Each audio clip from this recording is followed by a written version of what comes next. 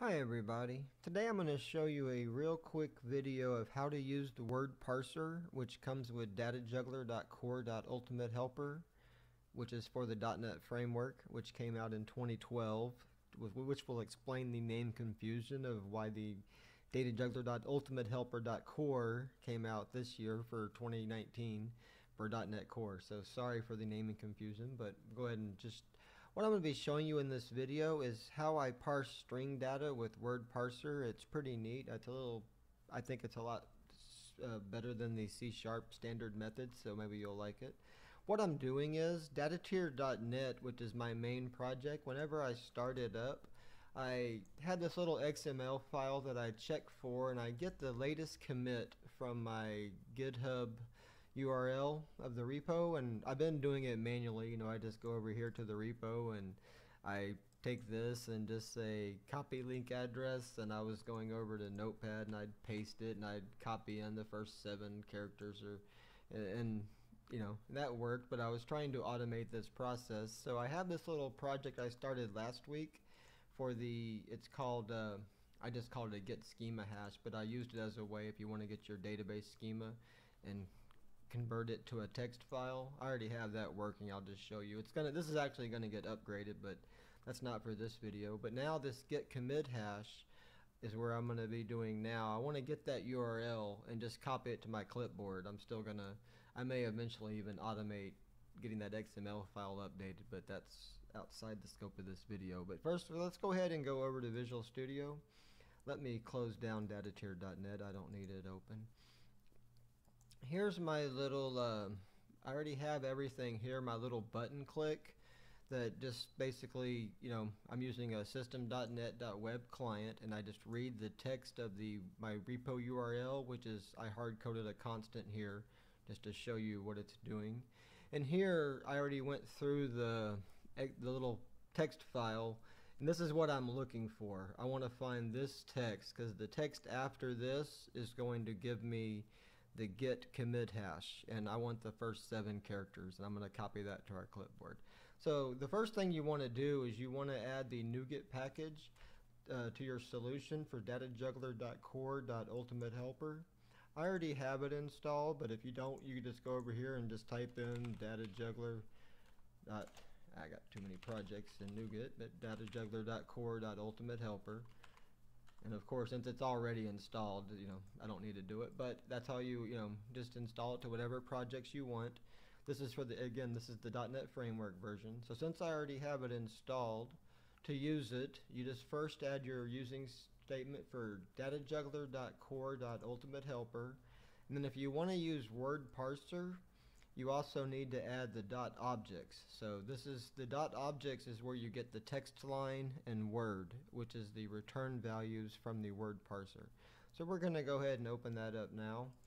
I'm going to just click on create an instance of, it's actually a static method, but I'm going to create a list text line and just call this text lines. Visual, I love Visual Studio creating the variable names for, you know, for you. All right, text lines equals word parser dot get text lines. And you just pass in your source text which is just going to be my web page text. And I'll just say parse the text lines for a comment. And here I just want to check did I get any results? And one of the classes that come with datajuggler.core.ultimatehelper is list helper dot has one or more items text lines. And that just does a if it equals null. Now here's something else you might like Regionizer has an auto commenting system and here I just hit control shift and that comment is typed in. So that uses regular expressions and if anybody wants to see a video on that I'll make it. So anyway so now we have our text lines. We know we have at least one. So now we're going to iterate our text lines. Text line text line in text lines. So and again I'm going to hit control shift for an auto comment and that completes the comment. I used to work somewhere where you couldn't turn in code without a comment, so I wrote this to make my life a lot easier. Some people don't like it, but I had a boss that he wasn't a programmer, but he wanted to be able to explain what the code was doing from the comments, basically, was his. And I kind of like it too. It's good for tutorials and for explaining things. All right, so now I want the words. First thing I want to say, if text line dot text dot contains and we have our href. Then we know is this the line we are looking for?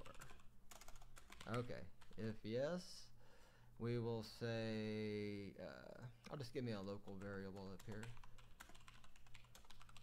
String commit raw text equals there so now I want the commit raw text equals uh, text line dot text.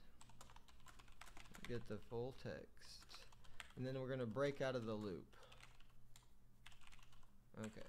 Ah. Break out of the loop. Okay. So now if we come down here now really I would I might even put that like in a method to kind of clean this up but we're trying to go fast. So here make sure I'm at the bottom of this. If text helper dot exist which is just the same as saying string not equal to null or empty string not null or empty but this is a it has parameters for multiple strings is why I use this. Plus I can type it faster because there's not a space and not equal to null.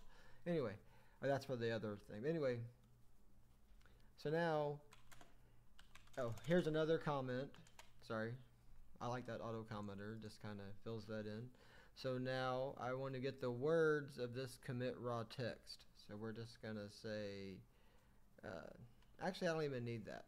So that was, you could, if I wanted to get the words, I would just say list word. I'll just show you just because the whole purpose of this video. Commit raw text, oops, excuse me, word parser, dot get words, and just say commit raw text. Convert to words. Now you may have to uh, parse in, pass in different delimiters depending on how this text is. But let's just get to here and see if we get our word. See if we even get our line. So, sorry, I'm kind of jumping around, but this was an unplanned video. Just want to see. Okay, so we, well, at least we know all our code up above worked. That was a good sign. Okay, so our commit raw text.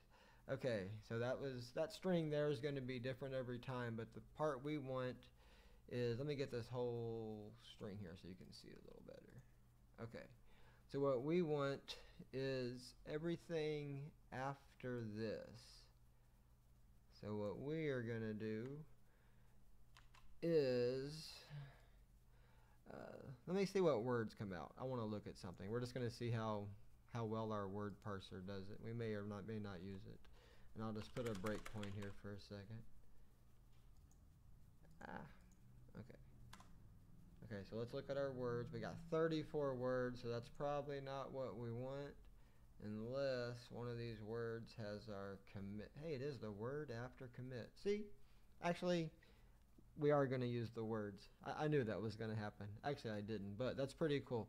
Okay, so what it turns out is we're parsing on the words, and one of the ways it's parsing the, the raw delimiters, and I tried to find a way to make it easily show up in the the comments for that method call, but one of the delimiters is the uh, forward slash apparently, and the so that's but this is actually good for us. So all we want now this number is going to change. So what we want is the word after the word commit. So that's going to make this pretty easy. So again, we're just going to say if list helper, we'll get rid of our breakpoint there so you can see it better, has one or more items, and we'll just say words to make sure we got some words. Again, hit Control Shift for my comment. And I'm going to just say for each word, word in words. And again, Control Shift. Okay, so now we're just going to say if uh, we want a we want a local variable for next word. So we're just going to say local. Probably not where I would put it, but trying to do it quickly. Bool next word equals false. And then here we want to say if next word else because we're still in the else we'll come back. Ah hate Visual Studio doing that. I love Visual Studio okay? Stuff it just randomly types in that I didn't type.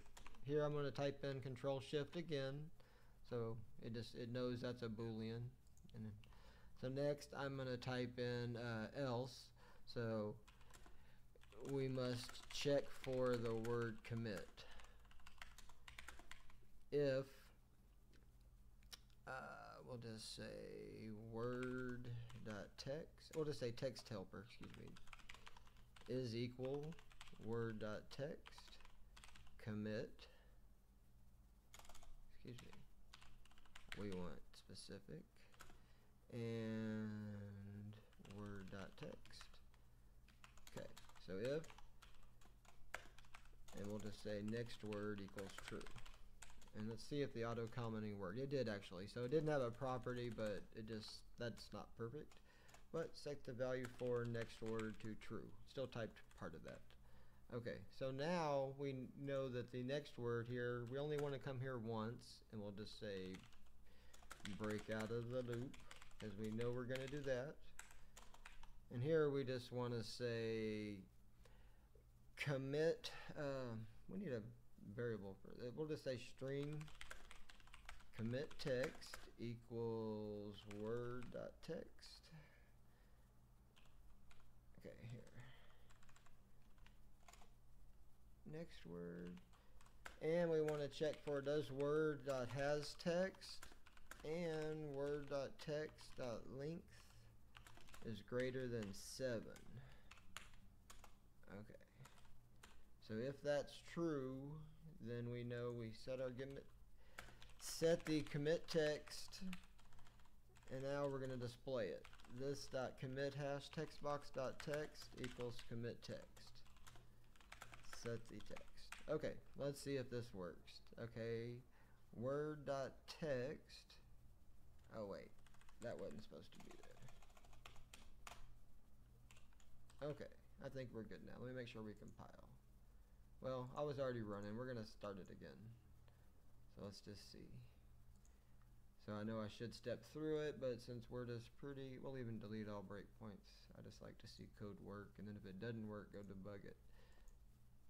Unless I'm building rockets, but nobody pays me to build rockets. Alright, so now git commit hash. Okay, now you notice that did not work, so let's go back and check our work. So, like I said, usually get to debugging real quickly after I say I don't have to debug something. Insert foot and mouth. So I buy good taste in shoes. Okay, word.text. Oh, that said commit raw text. supposed to be commit text. And we want the first seven characters. Not step, so we just want to say 0 and 7. Or actually, what are the other start into? Yeah, we want 0 and 7. Okay, so now, let's see, should work. Okay, A84F08D, and we have it. There you go. So that was my very bad demonstration of how to use word parser, but it really does work pretty well, even in a bad situation like that. Now I need to test that to make sure I didn't like, if I had actually typed in the word commit in, um, like you know in my latest uh, thing you know check-in for a team explorer when i did a git commit. Somehow that could probably cause those problems but for now this is just something i use for me so it's not like it needs to be perfect. Anyway thanks for watching. If you want to see any other videos let me know. I've probably got a tool that does something other people don't know about but i'm not very good at marketing. All right thanks for watching